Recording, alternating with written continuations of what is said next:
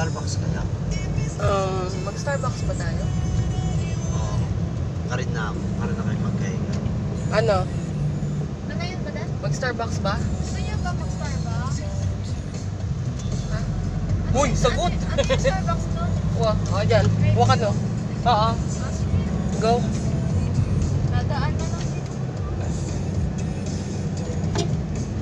Amo din tatalantang kay. Eh.